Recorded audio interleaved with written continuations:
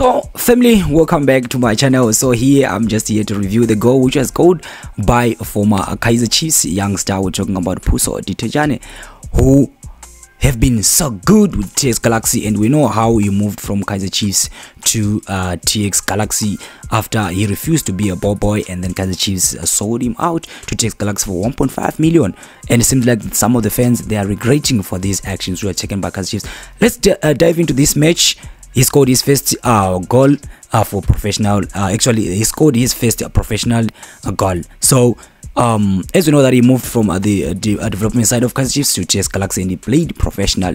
Right now he was also involved in the uh, goal which was scored by TS Galaxy against the Orlando Pirates where Orlando Pirates was beaten 1-0 guys going to this match it seems like Mamelodi Sundowns versus TS Galaxy. I don't know what is really happening with these guys too much emotions on this game and also seems like it's too personal when they are playing each other. We still remember the uh, beef of uh, Sead Ramovic and uh, Rulani Mokwena and also we saw in the end of the day of the game they couldn't even greet each other.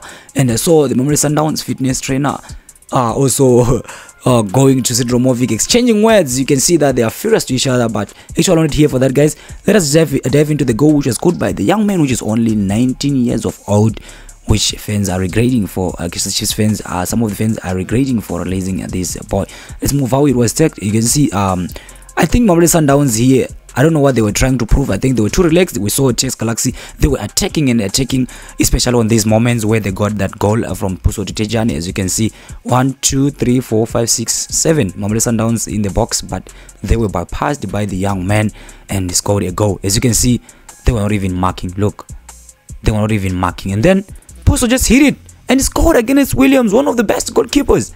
He was, uh, he, he got it. He got a goal against Ronwen Williams. And at the end of the day, look, that was a good goal. He was assisted and he shoot it on the arc. He was standing on the arc. Look, he was past arc and then he shot straight. Hit a, uh, uh, I mean, uh, hit, hit a, um, a post and it was in. Man, this future of this young man is very bright keep on doing it boy. Respect. I'll see you on my next lovely video guys. Road to 50k peace